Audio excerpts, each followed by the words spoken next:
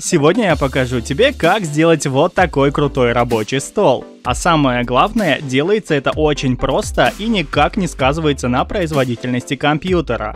В общем, поехали!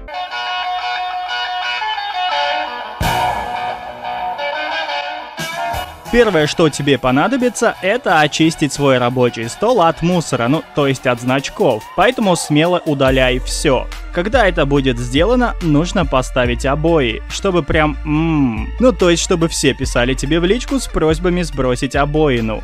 У меня вариантов много, но я решил поставить Марти Макфлая в футуристическом варианте. Ссылку на эту обойну и другие крутые я оставлю в описании под роликом. Затем нужно сместить панель задач наверх. Для этого сними галочку с пункта «Закрепить панель задач» и перетащи ее вверх. Это уже будет смотреться необычно и приятно. К тому же эта панель на macOS и Linux все равно по стандарту находится сверху. Не будем отступать от традиций. Также не забудь сменить оформление винды на темный и убрать корзину и все другие системные значки с рабочего стола, которые ты не смог удалить, потому что они системные. Для этого на рабочем столе кликни правой кнопкой мыши «Персонализация», затем в раздел «Цвета» слева и чуть ниже установи галочку на пункт «Темный». Потом перейди в раздел «Темы» и ниже в пункте «Сопутствующие параметры» Выбери параметры значков рабочего стола. В открывшемся окне поснимай просто все галочки сверху и жмякни ОК. Все, можно закрывать персонализацию. Дальше нам надо установить сразу 4 программы, а именно Desktop Cal, чтобы вытащить на рабочий стол календарь с делами, затем Mini Bin, чтобы вынести иконку корзинки в трее, Rocket Dog, чтобы сделать панельку с программами внизу, как на macOS, и, наконец, Rainmeter – удобную штуку, чтобы вывести виджет нагрузки на процессор и текущую дату внизу экрана. Не беспокойся, все эти программы бесплатные, и ссылку на каждую я оставлю в описании под роликом. Дальше нужно каждую по-быстрому настроить. Начнем с Desktop Cal. Позиционируй его на рабочем столе точно так же, как это сейчас делаю я. Дальше перейди в настройки, сними галочку «Показать тени» и выставь остальные параметры так же, как видишь сейчас у меня. Затем жми «Применить» и с календарем в принципе закончено. Можешь дважды щелкнуть по нужному дню, чтобы занести туда какие-то свои дела. За следом настройка Rocket Dog, но для начала его запустим, потому что после установки он сам не запускается. Когда панелька появится, кликни правой кнопкой мыши по ней и перейди в пункт «Настройка панелей».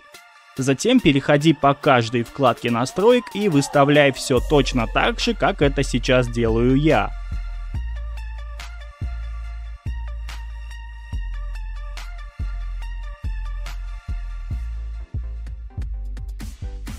Ну и в конце просто перетащи все нужные программы в Rocket Dog. При необходимости можешь поменять иконки для каждой из них. Для этого можно просто правой кнопкой на любую программу кликнуть и зайти в пункт «Настроить значок». В описании я оставлю ссылку на архив с целой кучей крутых иконок для программ, которые ты можешь использовать в Rocket Dog.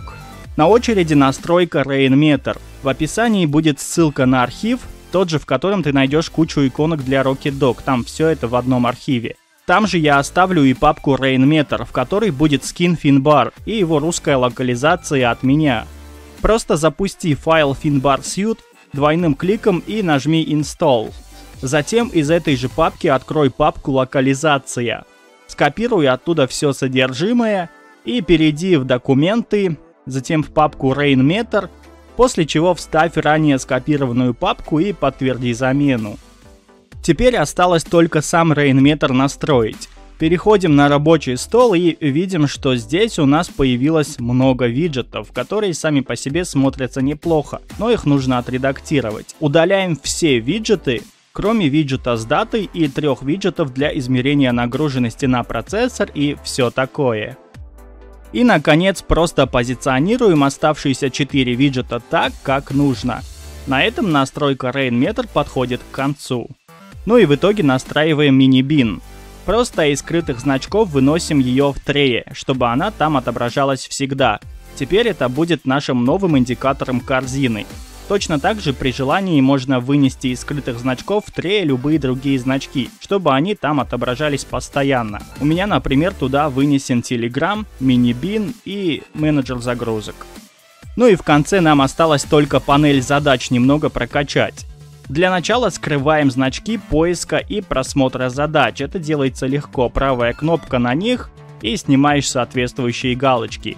Дальше открепляем все программы, которые закреплены на панели задач.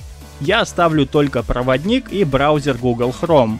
По желанию можно оставить еще 2-3 программы закрепленными, но не больше. Будем придерживаться минимализма в этом вопросе.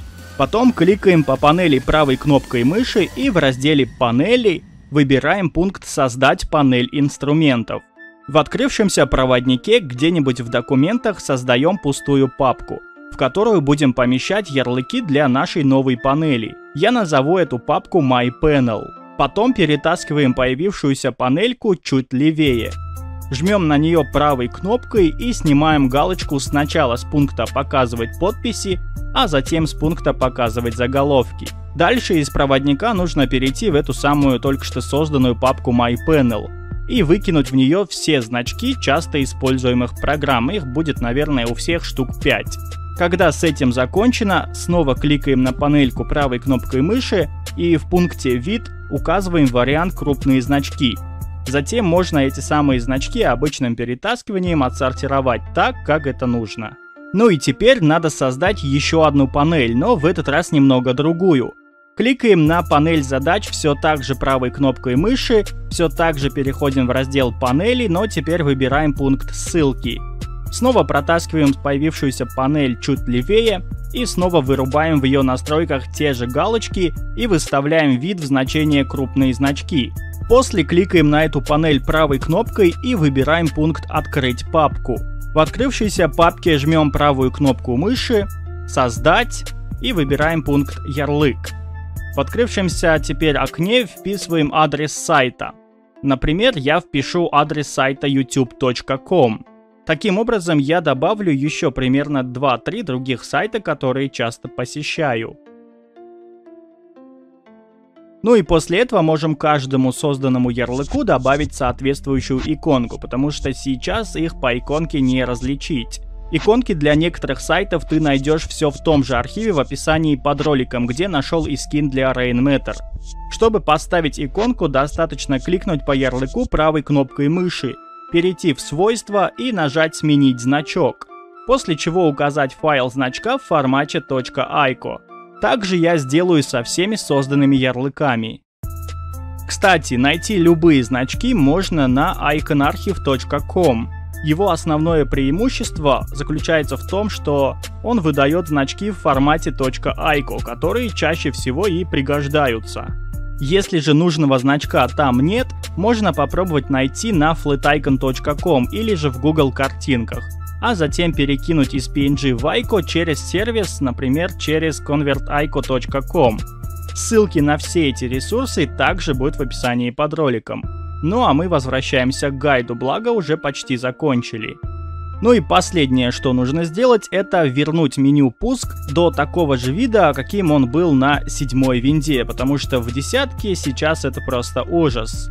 Для этого лучшая программа это Start is Back++, на нее ссылку я тоже оставлю в описании под роликом.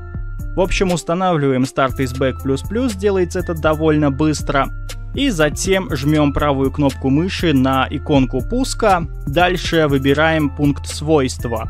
В открывшемся окне настроек нужно пройтись по каждой вкладке и, соответственно, настроить все по своему вкусу.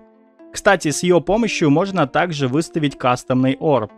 Я вот немного посидел в фотошопе и слепил орб со своим логотипом. Получилось вполне даже адекватно и очень красиво. А на этом наш гайд по крутому рабочему столу подходит к концу. Мы сделали все, что нужно. Само собой, тебе не обязательно повторять и делать все точно так же, как это сделал я. К примеру, нижнюю панель можно убрать направо, налево или вообще ее удалить. Дальше можешь действовать по вкусу. Самое главное я тебе уже показал. Не забудь проверить описание. Там будут все нужные ссылки на архив с иконками, скинами и также ссылки на нужный софт и на ресурсы, о которых я говорил. Не забудь поставить свой царский лайк, подписаться на канал и, конечно же, врубить колокольчик уведомлений. В остальном, добро пожаловать в комментарии.